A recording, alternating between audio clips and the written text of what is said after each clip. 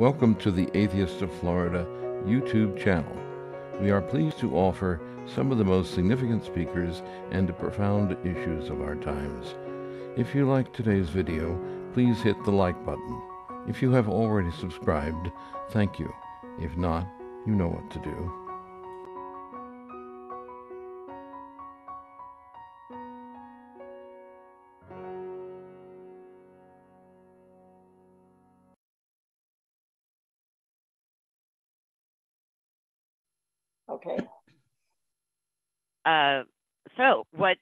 Is LifeRing secular recovery? Um, we're kind of the little guys in the recovery uh, community, you know. I'm I'm sure if you think about somebody who needs a support meeting for people with uh, substance use disorder, um, uh, what comes to mind is AA and sponsors and steps and and um, but because we're the little guys, we're we're kind of tenacious, and I guess um, you know I get to prove that tonight, right? And this is like, so uh, had to tie it in, right? I planned it. Um, so LifeRing is a, a, a community of uh, secular support groups uh, for people who want to live free of alcohol and non-medically indicated addictive drugs. Um, I will point out that that non-medically indicated makes us a little unique um, in, in recovery communities. Um, uh, medically speaking, there are a lot of medications that can assist people in their recovery journeys, help with cravings and, and whatnot. Um, traditionally, 12 step organizations are very much against that. Now, individual 12 step groups may be very accepting and and you know, obviously you can't put everybody in the same uh, but um, you know, LifeRing believes that it's not our job to interfere with the relationship you have with your doctor. and you know, whatever helps you do it, great. We're we're on board with that. So it does make us a, a little unique. Um, so LifeRing works through uh, positive social reinforcement. Um, the meeting process is meant to empower the sober self. Um, and in LifeRing, we talk about the sober self and the addicted self. And I believe that's coming up a little later. So if you could go to slide three, please. Um, LifeRing has some kind of presence in all these areas that you see. Um, in-person presence in, in many of them. Some of them at the moment are only an online presence. Uh, you know, the pandemic. Um, some of them had in-person, only one maybe, and some of these countries and like uh, Australia. Um, and they went online for the pandemic, and they just haven't been able to get back to in-person. But they still have online meetings going on there. Um, Okay, we could go to slide four. Um, so LifeRing offers originally only in-person meetings and a handful of uh, virtual meetings. Pre-pandemic, we had, I believe, four online meetings. Um, we now have, oh, if you include local online and uh, pushing a hundred online meetings now. Um, uh, actually, that's been a bit of a silver lining for us. It's allowed people to find LifeRing who who would not have otherwise. Um, we also have in-person meetings, and the pandemic did a number on those. Um, we have much, many fewer uh, in-person meetings than, than we did pre-pandemic. Pre-pandemic, we had 200 plus worldwide. Now we have about 50. Um, uh, part of the issue for for some, well, one you know, LifeRing conveners, the people who run LifeRing meetings, um, as a group, tend to be pretty cautious with COVID safety. Um, we follow the science, and and so um, we have meetings that are still meeting outside. Of course, in California, they get to do that all year round. Um, some of the other parts of the country, like for me in Ohio, we weren't able to do that year round, we do have one in-person meeting right now in um, Ohio, um, the Akron area where I'm at. Um, we have met outside during the pandemic. Um, we have email groups which have been around for a long time. Um, you know, people send an email and and and then others respond, and it, it's just like sort of like a big meeting going on um, virtually, but not you know in real time. And people find that very accessible, and and they can just um, respond and participate when it's convenient and when they're available. We also have a Delphi forum, which is like old school bulletin board, early internet type thing. And we have an ePals program, which is like a, a pen pal. Um, people who are eh, just thinking about getting sober, maybe um, aren't comfortable going to a meeting, aren't comfortable maybe going to an online meeting, um, they can write it, um, email in and uh, ask for an ePal. Um, and uh, there's a few stories that are really pretty awesome. I know one situation where um, person was incarcerated. Um, they got an ePal. Um, they had that ePal throughout the entire their entire incarceration. They got out, um, stayed sober, stayed in touch with their ePal. These two individuals are friends now, and and occasionally will will meet up and visit with each other, eh, which is really awesome. That doesn't happen with all of them, but uh, we could go on to the next slide now. All right. Focus meetings. We're on five, correct? Uh, yes. And and let me say I have um, put in, which is going to work really well given the way we're doing this. Um, I, you know, you certainly can ask questions at the end, but I put in a few question slides. It's after certain oh. sections, so oh, it will remind me to stop and and let you guys ask, and and it'll work really well since I'm phoning it. I can't see anybody's face. Um, focus meetings. Uh, with the growth of online meetings, this has allowed us to have a lot of sort of specialty meetings. Um, not to say specialty meetings didn't exist before in person. Uh, of course, there are areas of the country that have had in-person L- LGBTQIA plus meetings. Um, I think maybe uh, Colorado had an in-person women's meeting years ago. I know we had an in-person women's in Sweden years ago. Um, uh, but those kinds of specialty meetings can be really hard. I, you know, you have a smaller number of people to, and it's hard to keep them going in, in person, especially when nobody knows LifeRing exists to begin with, let alone this niche. Um, so uh, the online meetings, this has allowed us to have a, a lot of, of different specialty meetings. We have several um, co-occurring disorder meetings. We have a meeting for Spanish speakers. Um, we have a meeting for veterans who are in recovery. These are all now for people who are in recovery and also fit into these other groups. Uh, we have a, a meeting for uh, people who identify as women, uh, LGBTQIA meetings.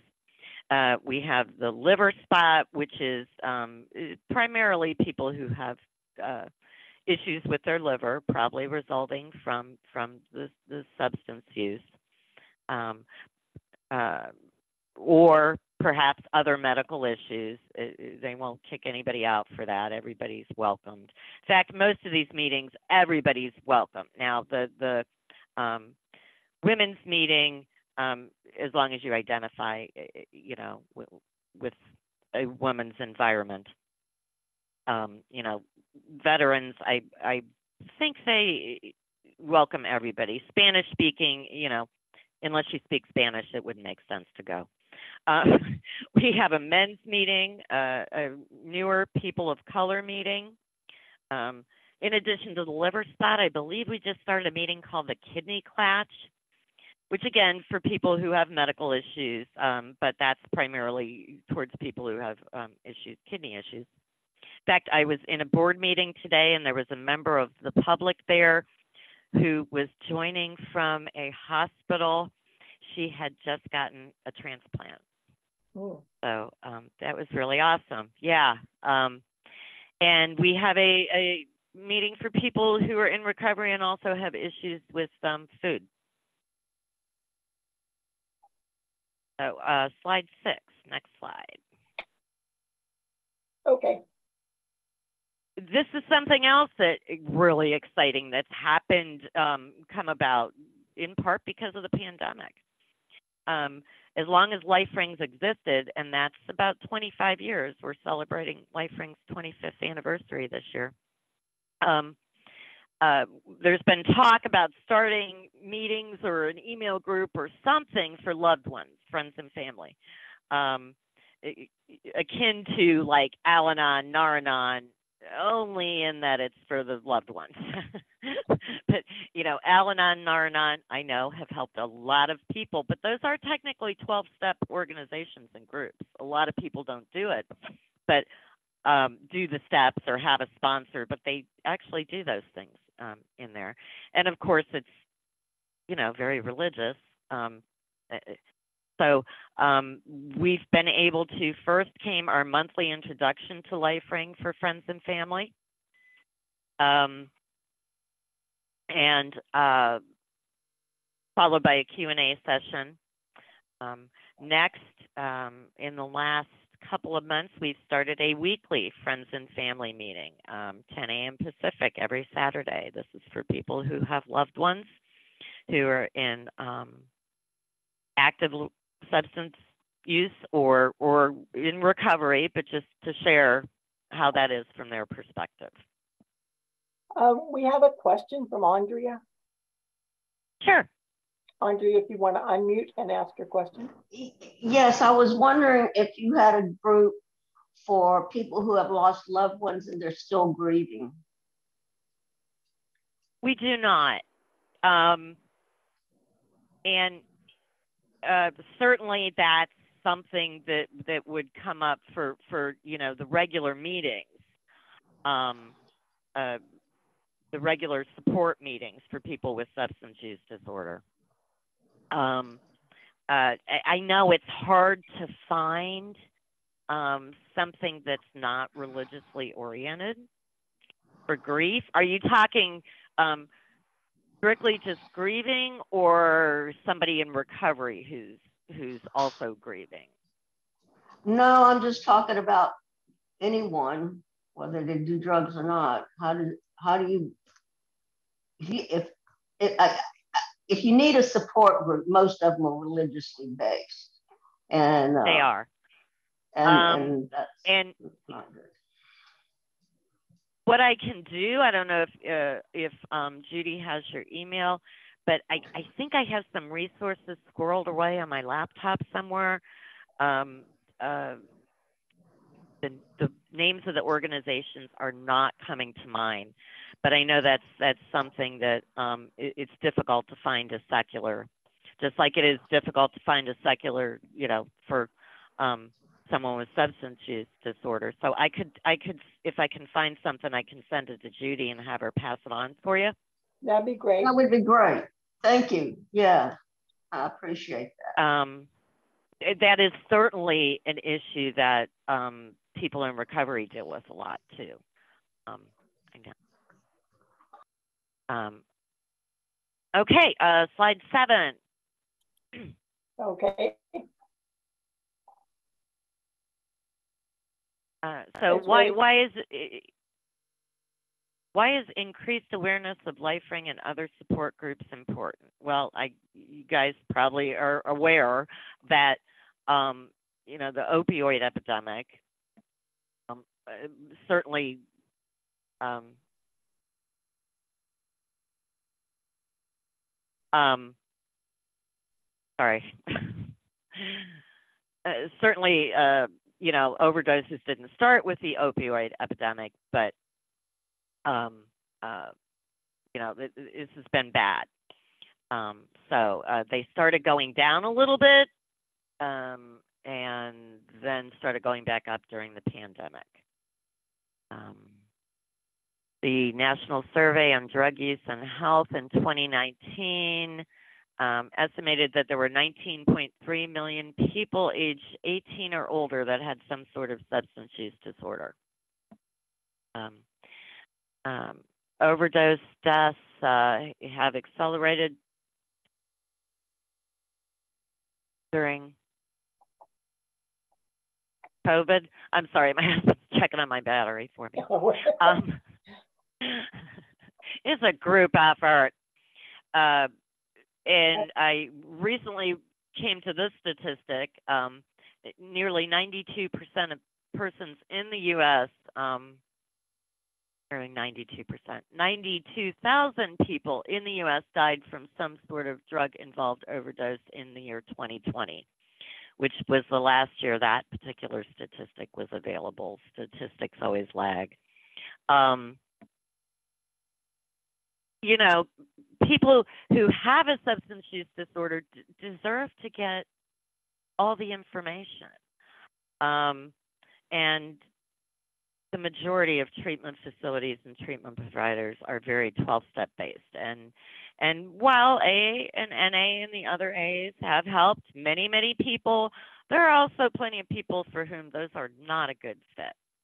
Um, and unfortunately, people go to uh, seek help, medical help, and are oftentimes told the only way to do it is AA, and and that's just not true.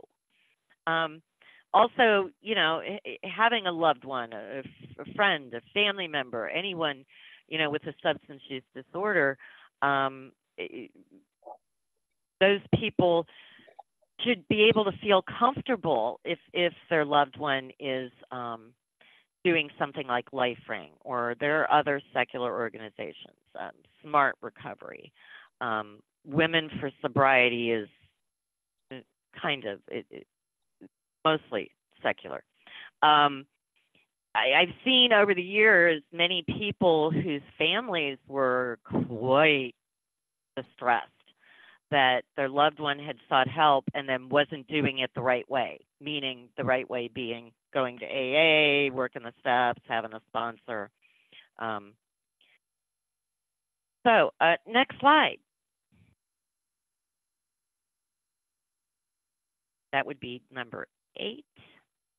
Um, as I was saying, uh, 12 steps are just everywhere in the recovery field. Um, according to uh, Sarah Zemore, who has done a lot of research um, on alternative methods, actually, who's the lead researcher for the only organization that's done any research on all methods other than 12 step, estimated that 60%, well, 60% of the public treatment programs in the US reported that they strictly used a 12 step model.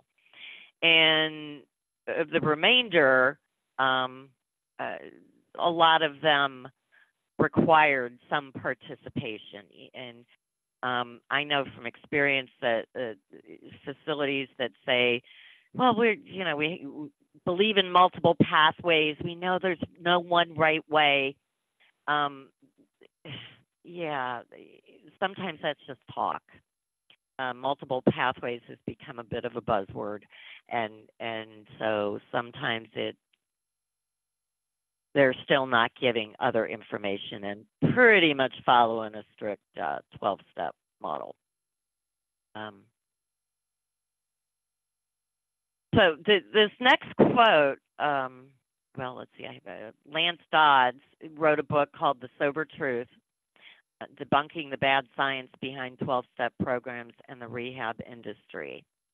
He wrote, this is a quote from his book that most of the expensive, famous rehab centers that base their treatment on the 12 steps likewise have offered no evidence for their effectiveness. Most of them don't even study their own outcomes. Um, there's been a little bit of change in that, but there's still a lot of that. Um, un- unfortunately, um, repeat business is good for business. And, I, and and I'm not saying everybody who's involved in the treatment industry. There are many many good people with very good intentions, but um, and to to be fair to those organizations and and facilities, um, outcome studies are very difficult to do with with their population. Um, recently, I was looking to update these slides. I had put this together a couple years ago, and um, I, I, ran across um, some criticisms of, of this book that that uh, Dr. Dodes wrote, and and this one really struck me.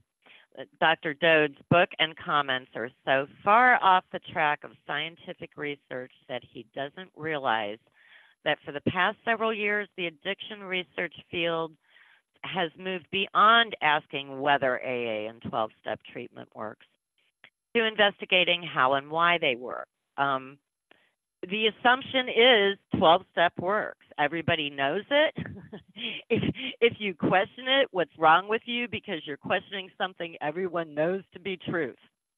Um, part of the reason for that is because all the research that's there are thousands of papers that that purportedly prove the effectiveness of 12 step. Um, only they never looked at anything other than 12 step models. Um, so it's highly possible what they're proving is that group support works, not the 12 steps necessarily. Um, another interesting note: the uh, one of the two people who who wrote this review of of Dr. Dodes' book, um, they were both colleagues of Dr. Dodes at Harvard Medical School. Um, one of the individuals was actually LifeRing's keynote speaker this year um, for our conference in June. Now he just talked about the like uh, biology of addiction and and a lot of neuroscience stuff, and it was very very interesting. Um, and it was kind of cool, especially cool in light of this uh, critique of Dr. Dodes that that he was exposed to something other than 12 step. Uh, next slide, please.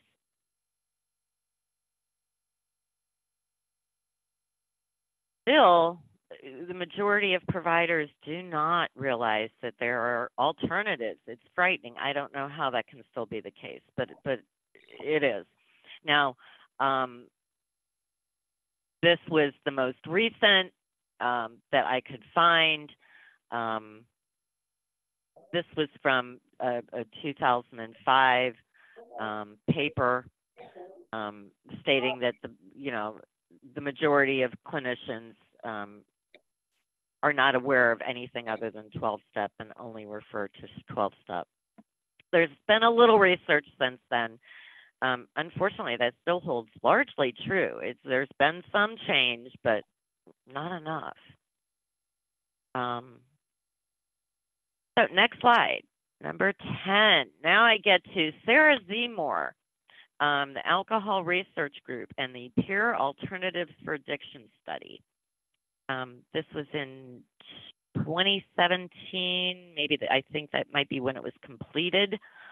Um, uh, there were several papers that came out of it. On on the slide here are the two primary papers that came out of it. This study looked at people involved with AA, Smart Recovery, Women for Sobriety, and LifeRing. Um, and it was the first time anyone had ever looked at things side by side. Um, next slide, please.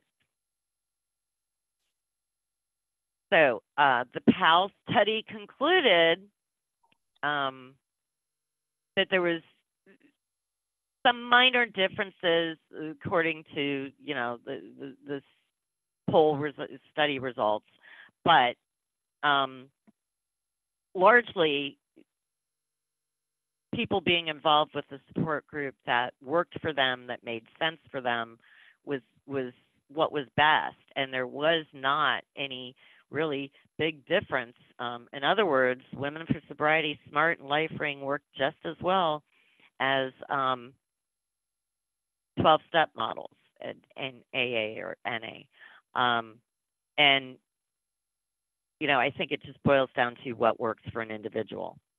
and I I know there are plenty of people for whom the 12-step model doesn't work, and and things like LifeRing work very well. Uh, next slide, please. Number 13. Oh, did I skip a slide? Number 12. I apologize. Number 12. Um, Sarah Zemore and her group are currently um, uh, working on the PAL2, um, Peer Alternatives for Addiction 2. It's a follow up study, it, it is also somewhat longitudinal. Uh, uh, they did an initial uh, survey of people and then they did a six month follow up, and I believe there's going to be a year follow up. And so the six month follow up happened maybe a couple months ago. So it's probably going to be a couple of years before we see any papers come out of it. But um, thrilled to see some more data.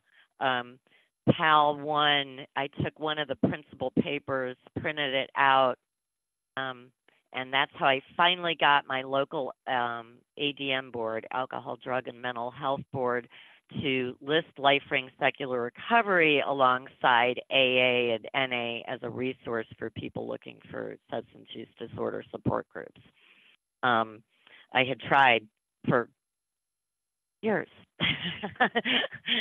Finally, I handed the right person a copy of that paper, and and up our information went.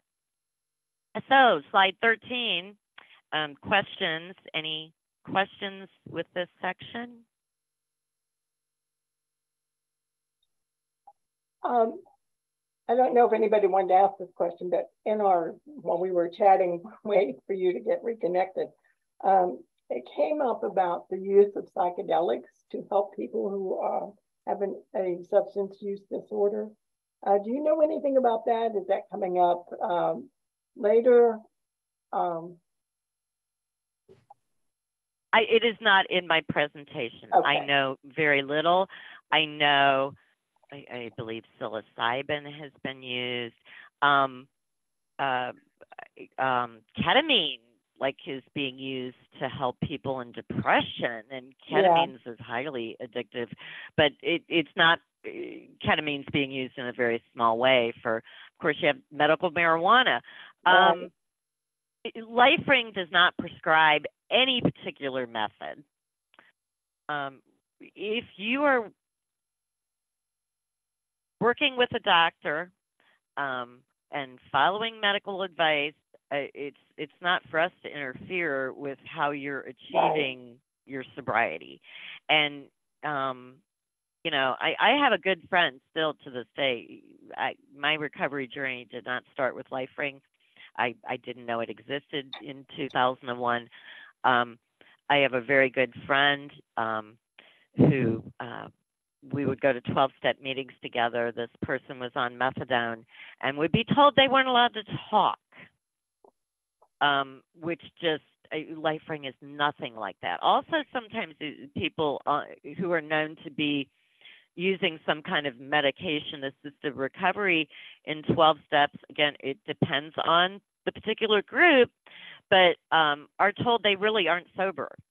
Oh. They're not supposed to count their sobriety. They can't celebrate it because they're using this medication. I, you know, my take is, are are they, you know,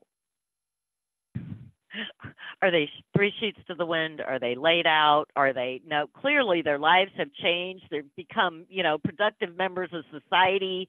You know, it's different right. situation. Um, but um, medical marijuana that gets a little tricky you know and and right. and so actually lifering has written a recent policy statement on sobriety that leaves perhaps a little wiggle room because we are sensitive to the fact that medical marijuana and is legal in some places for some things but not in others we don't feel it's our place to judge just because you live in whatever state mm-hmm. um, and tell you that you're not sober when if you were in a different state you would be you know right Um, we have a couple of questions. Karen, if you would like to ask your question, unmute and ask your question, please. Yes, I I missed the beginning of the meeting, so I'll have to go back and look exactly and what your um what's go uh, how you do it. But um, I just wanted to offer if anyone's interested in knowing, I went through rehab twice in Germany. Um, I stopped drinking alcohol in 1990 and have never um, relapsed. And I was in rehab for three months plus afterwards, non AA, um, for marijuana abuse. Yeah. Um, and and which is largely psychological and um, basically if you have an addictive personality um, it doesn't really matter what you're taking it's all the same. Many people think that there's no danger of using marijuana. Um, there is and having after having been through my second rehab stage in 2017 um, i recently tried smoking marijuana again and immediately would have gotten hooked if i hadn't had you know the the tools in my box let's put it that way to say no mm-hmm. this is dangerous for me and i finally quit smoking cigarettes again after 42 years so the struggle is real with all forms of abuse but i feel that the way things are done in Europe, the clinics that are paid for by Social Security and are nationwide, or I know a lot about the programs in Finland and what they use with um, injections against alcohol for those that are um, have great difficulties with it. So if there's any interest in finding out how those programs work and what they do, and it's not based on 12 steps at all, um, then I'd be happy to share that information, having been through it twice. Well, congratulations. Um, let me add that the the whole marijuana thing, I it's um, you know, I have I have 20 years of sobriety, but it's been way longer since I had smoked marijuana. Um, from what I've heard, it's gotten way stronger and way so so really the the psychological only is is sometimes not necessarily true. You know, um, with that at, at, this point uh, is what people uh, have told me. Um, yeah, congratulations. And yes, other countries probably do this way better than we do. And um, I am getting to the next section is is more about what LifeRing is and how it works. Um, oh. let, me, let me tell you, Karen, that we didn't do much before you joined us because we had um, technical issues. Oh, okay. we didn't miss too much, okay? Okay, great.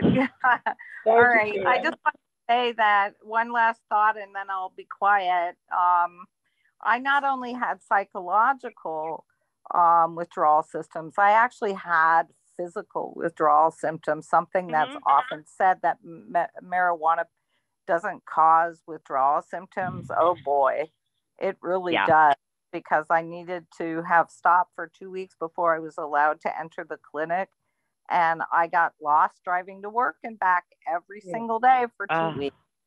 Um, even though yeah. I've been driving it for 25 years and headaches, nausea, and everything else that went along with it. So it's, you know, people who pop pot and say, you know, oh, I use marijuana mm-hmm. as long as you don't drink. Mm-hmm. I just, my warning is always be careful if you're a person who's easy, uh, act, you know, addictive, yeah. then everything is difficult.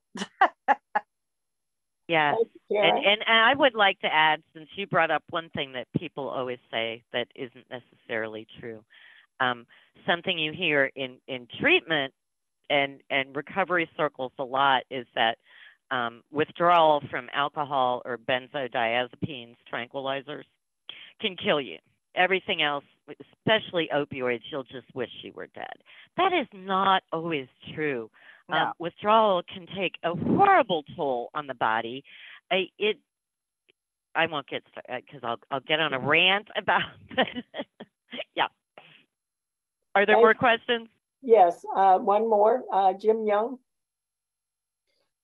Uh, I just want to say that, uh, well, I, I probably one of the most fervent skeptics amongst this group, but I watch a lot of uh, videos, um, people who share testimonials, their firsthand experiences. And what I've learned is testimonials are the worst possible evidence uh, there is because people see things through a shaded lens and to rely on testimonials as evidence of the efficacy of anything or uh, is, is just a horrible practice for any free thinker, uh, critical thinker to get involved in. We need to remain skeptical and require evidence. And we should always be very skeptical of these testimonials. Now, I know people who are alcoholics, and I've wanted desperately to be able to help them. Unfortunately, I'm not qualified. I'm not qualified to advise uh, anybody on what we're discussing here today. So I, I have no uh, opinion to offer on any of this. I want to listen only to the professionals and really the, uh, I guess you could say the qualified and certified professionals. So uh, the general public at large who've had their war stories and experiences, I just, sorry, I'm not buying them. I'm, I'm going to have to discount that. And I don't mean to offend anyone. I'm sure it's very real to the individuals who've lived it, but it's not scientific. That's all I want to say. Thank you, Jim. Okay, Lisa, are we ready to move on? Or did you want to address? Yeah. Okay. Uh, well, I yeah, I'm I'm I'm not sure the last person who commented. I I, I would just say that you know, um, not being a medical professional, that that's you know, uh, uh, but if you knew somebody, um, no, you couldn't tell them this is what they should do, but you could say, here's your options, and and that's you know the reason for me being here is is right. to make more people aware of what the options are.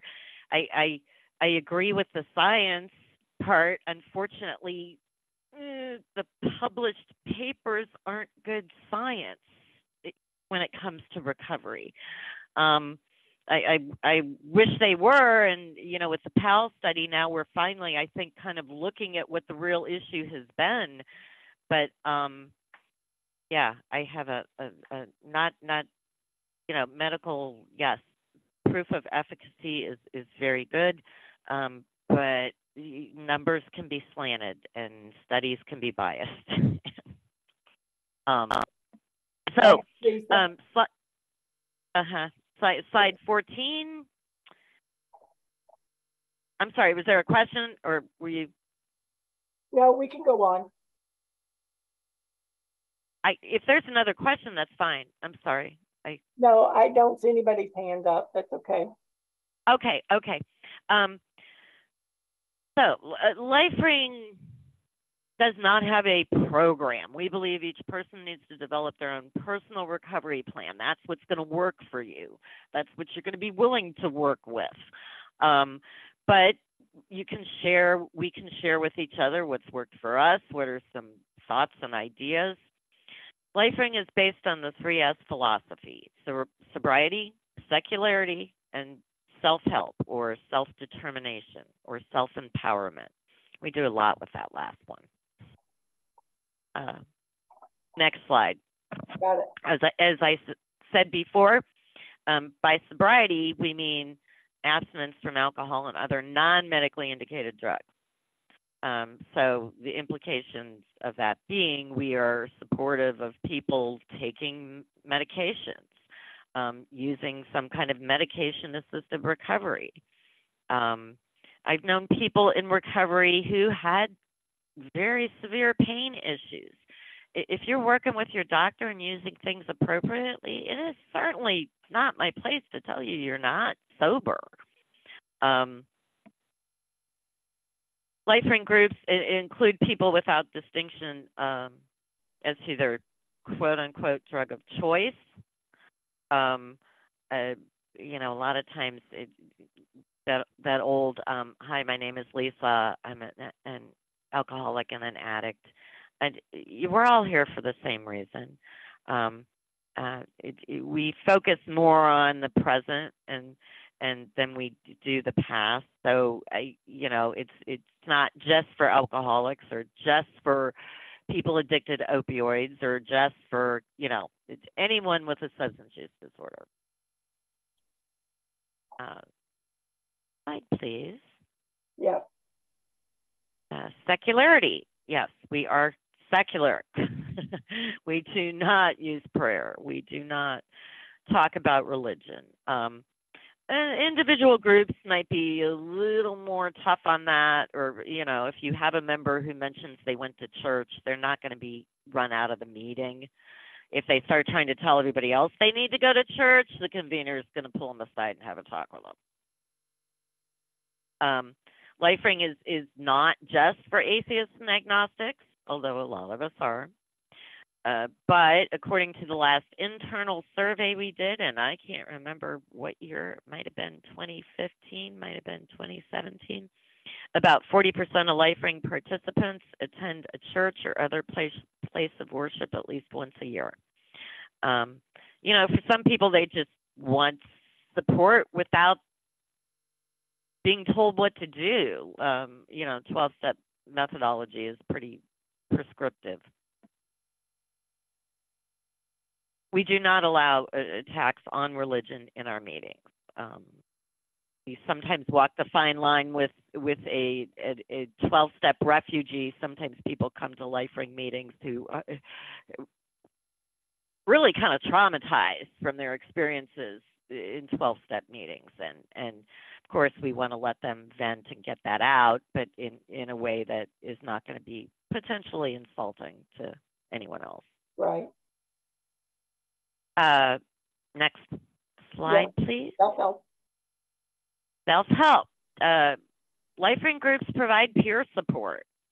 Um, majority of meetings um, are a how was your week format where we talk about what's going on um, in, in, our current week or you know if you haven't been to a meeting in two weeks two weeks um, anything, any particular challenges coming up, um, you know, how these are affecting our sobriety, how they're just affecting us in general, because, you know, it, eh, um, for people in recovery, you know, um, a lot of times it's not any single big thing. Sometimes it is that that leads to a resumption of using. Um, a lot of times it's a culmination of a lot of little things, and, and so we just we're there to support and listen, and perhaps you know tell somebody what what worked for us or offer a suggestion. But we're not there to tell people what they have to do. I can't know what somebody else has to do. I'm not them. Um, and LifeRing members uh, can attend um, other types of meetings, including 12 step meetings, or uh, frequently a lot of people start out doing SMART and LifeRing and, and um, then kind of just stick with the LifeRing after a while. SMART is uh, very good for people in early recovery. Uh, next slide. Got it. Uh, the addicted self and the sober self. Um, and and when I first discovered LifeRing, this I I really I I liked this um, a lot. Um, here you see the the sober self, the little s and the big A, meaning the addicted self is kind of prevalent in the you know, um, but there's still that sober self in there. Um, the message I got uh, when I was involved with 12 step programs was that um, pretty much, you know, if you're in active addiction, you're kind of worthless. There's nothing till you get sober. There's nothing redeeming about you. It, it you know, um, that that sort of almost you need to um, be born again into your sober life and and um, but even when people are in active addiction even strongly in active addiction at times there's that piece of them that knows they want out or that, that maybe is able to function in in certain ways or or you know um i don't think anyone's ever a lost cause um I don't believe, and LifeRing really doesn't subscribe to this whole um, you got to hit rock bottom thing. Yeah. Um, no, um, uh, I don't think you have to wait for a certain benchmark until you've gotten arrested or until you've been hospitalized or until whatever. Um, you know, I personally I believe rock bottom is when you're six feet under, and prior to that, there's always hope. Uh, next slide. Okay. This is basically, um, you know, a LifeRing meeting, an interaction between sober people, um, and those sober parts of them. So LifeRing meetings, we don't do drunkalogs or drugalogs. Um, in fact, if somebody starts going down that path, the convener is is going to, you know, redirect them. Um, uh,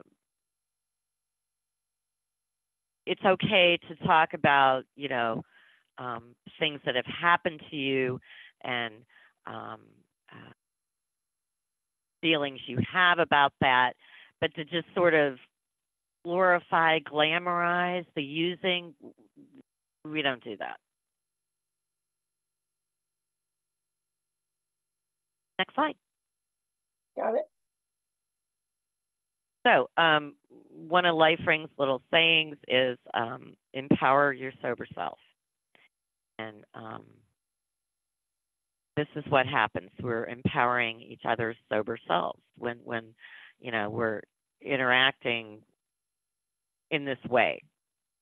Um, not sitting around talking about, you know, who did more of this drug or who did, you know, those are not conducive to recovery.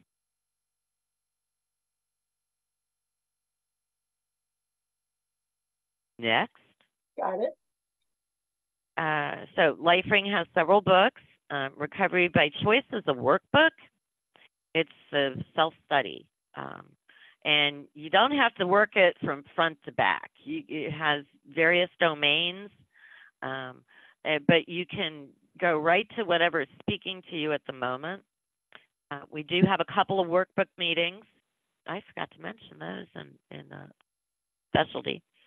Um, and sometimes people who are using the workbook, doing work in it, might attend a meeting and talk about eh, things they discovered or were struggling with, or um, Powering Your Sober Self was LifeRing's first book, written by Marty Nicolaus. Uh, hugely popular book, and just sort of talks about sobriety and, and trying to just sort of get people to be able to think in in a different way about it getting away from that 12 step is the only way kind of thing. How was your week? Um, goes into a lot more detail about LifeRing philosophy about the, the, philosophy behind the three s's. It is also uh, the convener's handbook convener being the person who um, facilitates LifeRing meetings. Um, it, it, gives a lot of um, hmm, tips and and on, on how to do that. Um, uh, Humanly Possible, our most recent book, is a collection of stories about secular recovery. It is not limited to uh, LifeRing stories. Um, they um, got submissions from people, I believe, in Women for Sobriety, Smart Recovery, um, LifeRing. And there's even one submission from somebody who was involved with AA Agnostica.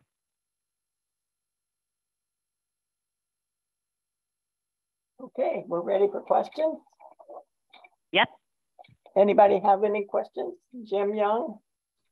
Um, one of the questions is, are any of these books available in Spanish in uh, in Central America?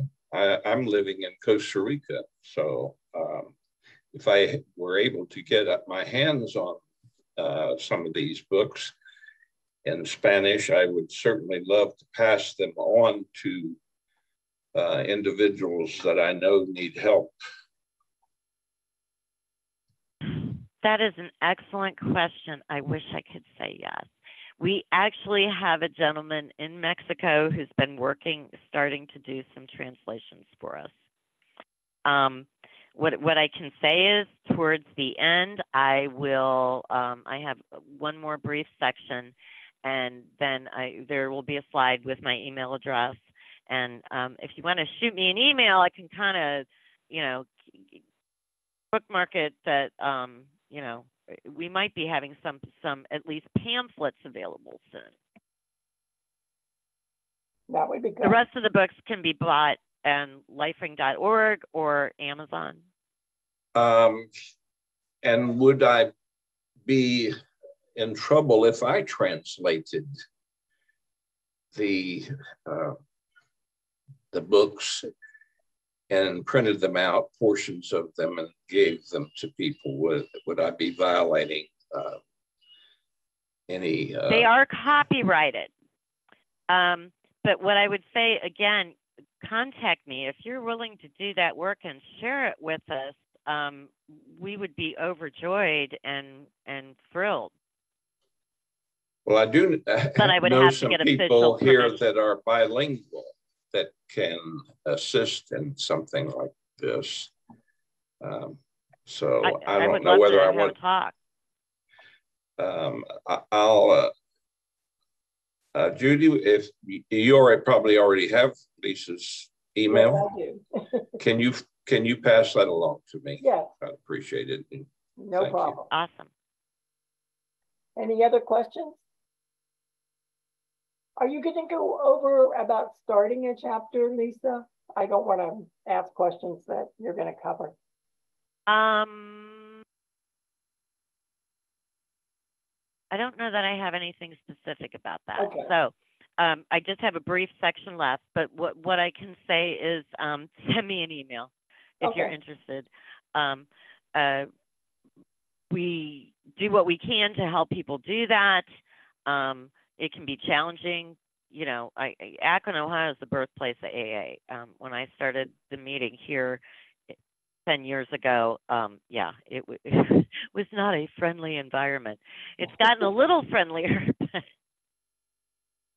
um, it's rather exciting. We've lasted 10 years.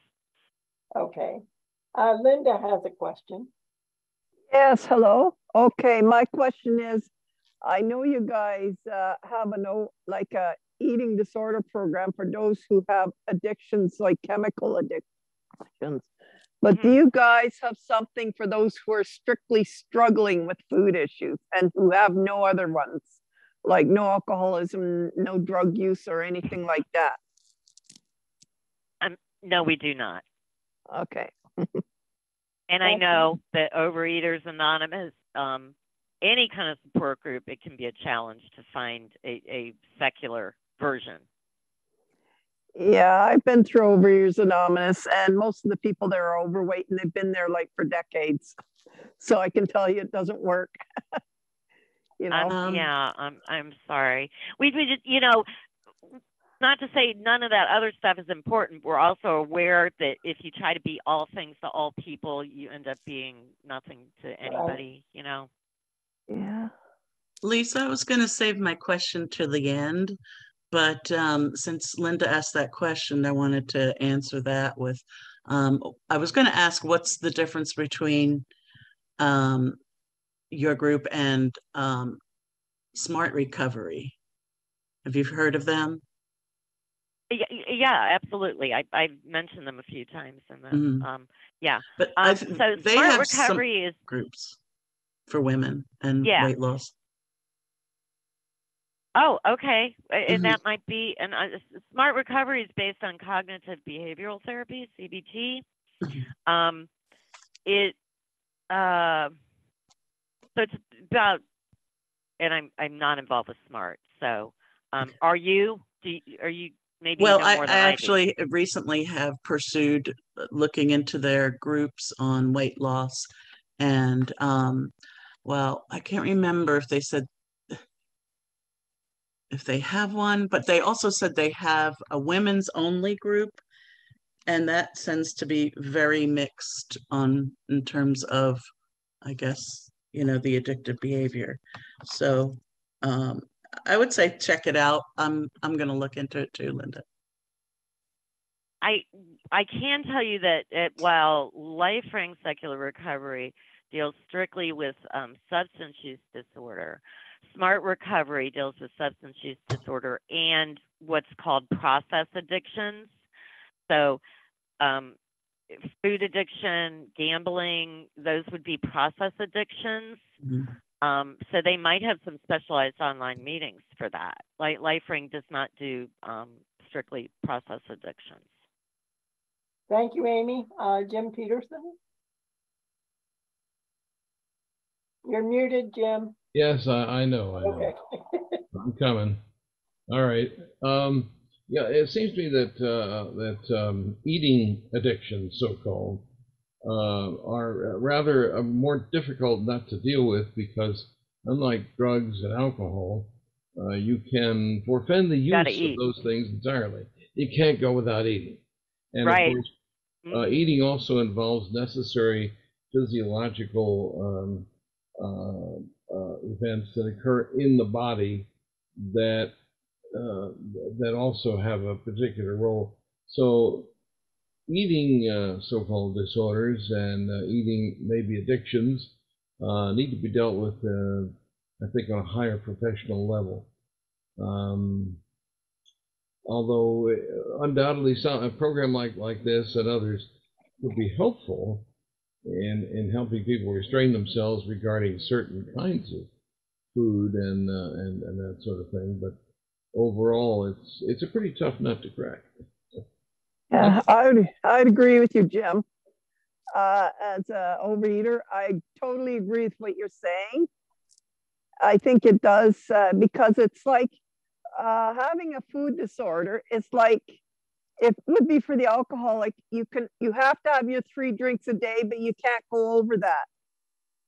You know what I mean? Yeah, yeah, Yes. yeah, yeah. Which, like, Yeah, but you I have solved that to problem by not doing yeah. it at all. yeah but it's like the it's like a form of alcoholism where you have to have those three drinks a day you cannot just do abstinence Mhm. And i think that's what makes eating disorder so much harder because you have to eat the stuff that you're kind of hooked on you know you got to do it to survive Yeah. That is correct. Yeah Thank so you, Guys, um, any other questions? Uh. I'm sorry, Lisa, I didn't mean to cut you off. Go ahead. Oh, I'm sorry. No, that's okay. I was talking to my husband. I apologize. Oh. Okay. All right, are we ready to Move on? Yeah. Okay. Okay. Um, I think these will be pretty brief. Um, slide 23. So LifeRing, as I said, does not have a program. We encourage individuals to develop their own personal recovery program. Um, we have the workbook, which they may choose to use, they may not. Um, uh, you know, recovery plan can include all kinds of things, and and um, even those that are very involved in, with um,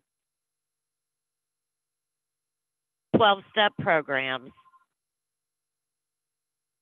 Sorry. That's okay. Uh, uh, I had turned the volume off, and uh, anyway, um, so uh, even those that are, um, I totally lost my train of thought. Um, It's okay, take your time. Oh, 12 step. Even those that are very involved with 12 step. Um, in working the steps and, and working with their sponsor, and they do other stuff too. Um, this concept that you know a recovery plan um, can include all kinds of things, including maybe going to the gym as part of your recovery plan. It is for a lot of people some kind of working out early in recovery, especially. Get, later on, we get a little lazy about it, maybe, but um, um, you know, it can include therapy. It, it can it, all all kinds of things, and that's really not any different. You see that a lot in people who are involved with 12 step stuff. It's just they don't call that part of their recovery. I, mean, it's they don't consider it part of their recovery plan, or Yeah. it's just something separate. Um, so it's it's not really so outside the box of what has worked for some people in a way. Um, uh, yes, we we do have the workbook. A lot of people haven't used it. That's fine. We don't. None of our books. You won't see people carrying our books typically into a meeting, unless it's a workbook meeting. Um, they're not required for participation. If you've never read any of the LifeRing books, you're not going to be lost during a meeting or anything like that. Next slide. How is LifeRing similar to AA or NA? We are abstinence based, although with that caveat that uh, we're not trying to play doctor with you. And if there's, you know, part of your recovery plan is using medication assisted recovery, that's certainly your choice. And if it works, we're thrilled. Um, group support. I mean, bottom line, a lot of this is about group support. And meetings are confidential in LifeRing, even though we don't have the word anonymous in our name. Okay. Um, next slide. How is LifeRing different? Well, it, we believe the power to get, you know, uh, find recovery is within us, not within some outside force. Um, although that it doesn't mean that people can't use LifeRing support if they are a believer, because I know people that do. Um, we welcome people regardless of their drug of choice. Um, we encourage crosstalk. I, I don't know how many of you have ever, oh, um, I don't know if this will make sense, but um, so in 12 step meetings, crosstalk, that's a no no, a huge no no. Um, a discussion meeting in, in a 12 step environment will be each person takes their turn. There's not really any back and forth or interaction.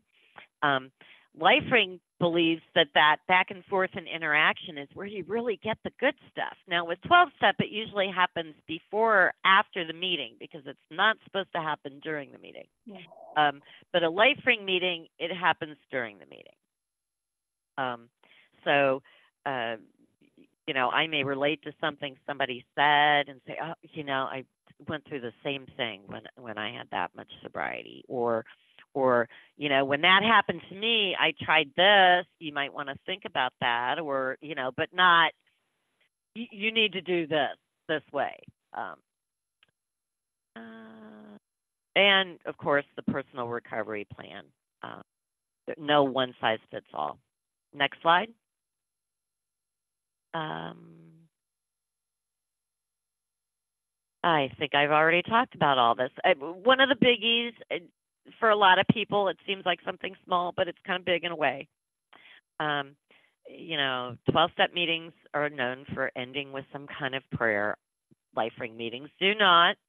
Um, we usually end up with a mutual round of applause for each other um, for our successes and and being there and and um, it's it's just a, a nice way to end. Um, next slide. I've mentioned workbook meetings. We also sometimes have um, uh, topic meetings where, where it's not a how was your week meeting. It may be a topic, although a lot of how was your week meetings sort of turn into a topic meeting based upon whatever was, was going on with somebody during the week that a lot of people related to. Um, we do have some, uh, some of our online meetings are open camera required. Um, typically, this is our co-occurring disorders. Um, people feel it's important to be able to look at each other in order to open up. They, if somebody's off camera, they feel kind of like somebody's lurking, and you know, it, it, um, and we have a few hybrid meetings, online and in person. Which Okay, next slide. Oh, uh, LifeRing Tampa Bay. Um, there, there, are, there is a LifeRing presence in Florida. It's in the Tampa Bay, Bay area. Um, uh, Tampa Bay, St. Petersburg. Um, so the, there is a website. Um, I have a resource page for you, which I will get to in a couple slides. okay, Um, Tampa Bay, um, the gentleman who who's in charge of this area, who who kind of runs things, keeps things going, um, has been involved with LifeRing since the beginning. Um, he has a phenomenal resource page, books, podcasts, recovery blogs, what anything you might. Yeah, he, I would urge you, even you know, if you don't know anybody with a problem, you might want to check out that page. Um, there are local online meetings for those in the Tampa Bay, St. Petersburg area, which you could access by going to that website. Um, they were formerly in person. We do have some LifeRing meetings that, that are doing this, like the local online thing, where they want to stick mostly local. It, it's trying to help people feel connected um, despite the conditions we've been dealing with with the pandemic. Um, I'm going to skip that question one and just go to slide 30, lifering.org, and here's my email address. It's pretty easy. And of course, Judy has it. Um, Yeah. And then the next slide, um, that link, and, and Judy, I don't know if you can copy that and um, whoops. uh, put it in chat or um, Um, When I, when I get out of, um, full screen, I can probably copy it and put it in chat. um, yeah. Um, so what I did was like references to some LifeRing um, information or online meetings, uh, Tampa Bay LifeRing, um, the some of the studies, the PAL study papers that I've mentioned. Um, I just did a Google Doc that I web published, so don't look to be impressed with formatting or anything like that. Um, it's pretty simplistic, but it seemed like a really easy way to share Mhm. um, this stuff with you guys. So those are all active links in that document. Cool. And the remaining documents were like should have been removed. They were kind of junk slides, so just ignore them.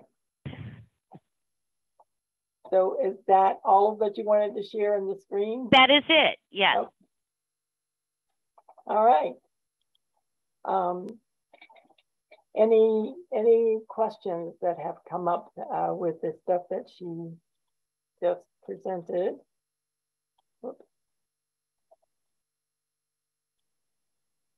Uh, Let's see if I can get that um, link to put in chat.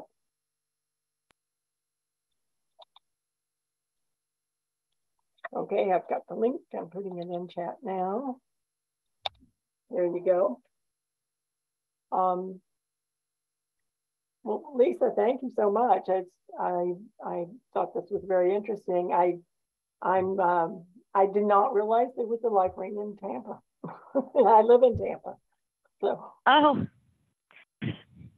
Yeah, actually, they've been around for quite a while. Really? Um, but yeah, but again, here the, it just goes to show you that you know, I mean, it AA gets all the attention. yeah. AA, NA, you know. Yeah. Well, one of our concerns, of course, is that people who go to court, they get sentenced to AA. Mhm. and Often there aren't other resources available. Um, hmm and we want to make sure that uh, while Um, I've never been addicted to any drug. Um, I'm obviously addicted to food. Some I've given it up, but I've never been addicted to a drug. So I would not be an appropriate person to start a group like this, but I'm hoping we can find uh, someone in other parts of the state, uh, since we already have one in Tampa, that uh, might be interested in doing this program or some uh, form thereof. That um, important work you're yes. Doing. Thank you. Anybody that's interested, I'm also the Frontier Regions coordinator. Frontier regions being those places where LifeRing's not at all or not very established.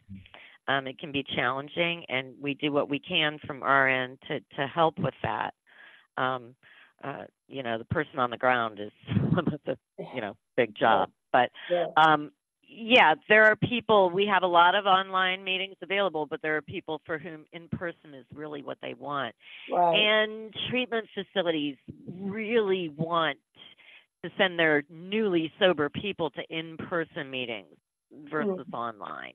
Um, LifeRing meetings, um, the online ones in person, I, I know of no meetings that won't sign up a court paper for somebody. Um, occasionally that could be a battle, but LifeRing would provide a, a, what support we could, what minimal support we could, oh, if, if it got to be a battle. For the most part, courts just accept them. But we have had some cases where they were like, "No, it's not an AA meeting. You're not allowed." And right. and I knew a woman who was going to um, SOS meetings, and SOS. Yeah. a little bit in New York, not much anywhere else anymore. But um, who sic the um, Freedom from Religion Foundation on her parole officer because they weren't going to let her count the SOS meetings. Um, and it worked, so you know. Good. Uh, Jim Peterson, you have a question? Um, yes, I see it's getting rather thick with cats in here, but uh, uh, uh, one one last last question, and uh, uh, that is, do you have a uh, like um, a board of directors or a board of people, professionals who can grace their certificates and so forth in order to give some authentication to to the overall philosophy and effort to make it more acceptable to the courts? Um, okay, several things to unpack. Yes, we do have a board of directors. No, it does not consist um, solely of professionals. We have um, uh, various professionals. One for certain that off the top of my head is in the treatment industry. Um, I, I think you know that's why things like the PAL study are so important because um, there's that evidence, there's that proof published, you know, in a peer-reviewed, journal, you know, peer-reviewed published in a journal, very scientifically sound as far as its methodology. And to have those kinds of things to, to be able to say, hey, look here. Um, you know, professionals really, I know Smart Recovery was developed by a psychologist, and so there's probably more professionals involved with that. Um, with the exception of SMART, though, um, substance use disorder support organizations tend not to be um, know, staffed or manned necessarily by people um, who are in the industry themselves. Hmm. Okay, thank you. Mm-hmm. Thanks, Lisa. Um, any other questions before we go? I've got one for you. Okay. A very hard one. What is your YouTube channel called? Uh, it's called Atheist of Florida. Thank you. You're welcome. Karen, you have a question? Unmute. I, I just wanted to make a comment. Um, I understand Jim's point, but I also must say, as being an addict myself or a former one, and having been with many, many addicts together, it's a question of trust. I mean, we're not talking about, we're talking about mostly post recovery. In other words, about uh, talking to others who have traveled a similar journey, though not the same. And it's a question of trust. And the professionals are good and we need their support, but we also need that person that we can call um, mm-hmm. or that we can, who's been that or knows that feeling. And from my own experience and from others' experience, when we talk about what do we do when we get that itchy feeling, um, it's generally 10 or 15 minutes you have to get through. And if you can reach somebody in your support system during that time, you can actually maybe not relapse. It doesn't always mm-hmm. work, but it often does. And one of the things we learned during that time was always to have somebody, a buddy or somebody we felt we could trust. And those are the type of things that happen in these kind of support groups among each other. Mm-hmm. So we need the professionals, but we also need the others um, all working together. And um, sadly, here in the US, um, from what I've seen from the systems in Europe, we have additionally the doctors. Every recovery and every rehab facility also goes through your entire medical and deals with your medical issues parallel and your psychological issues. So the more we can get a mixture of different types of people approaching this, I feel the more successful it is for everyone. Those are just my two cents. Thank you. I, I, I concur. Yeah, I I uh, do support for people with cancer, and um, one of the things they try to do is match up people who've had the same kind of cancers, and be able so you know what what what you've been through and how it relates to what they're going to go through or what they're going through right then. And it, it was a very big help to me when I was under treatment to be able to talk to someone who had been through it. And I think this is a very mm-hmm. similar kind of thing. It's another medical mm-hmm. condition. Mm-hmm. I, I view um, substance abuse or substance use disorder as a medical condition. I don't, I don't think it's just whatever. Moral failing, right? Moral Thank failing. you. Yeah. it's yeah. a medical condition. Needs to be treated as such. So, okay. Um, anything else before we go? Thank you so much, Lisa. It's been such a struggle. I just, thank you for for you know helping me work this out so we can still continue to do yes. it today. All right. Well, thank you, everyone. So, um, thank you, Lisa. Next week. You're welcome we will be talking, is it next week? Let me see, I've got here. Um, we will talking, be talking with Clint Heacock, I never can say his name right, sorry, about cults. And uh, he was with us before and talked about um, uh, Christian nationalism. And now he's going to talk to us about cults.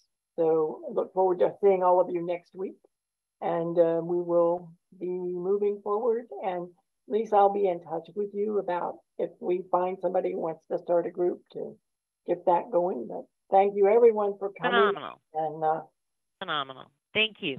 Thank you. See you all next week.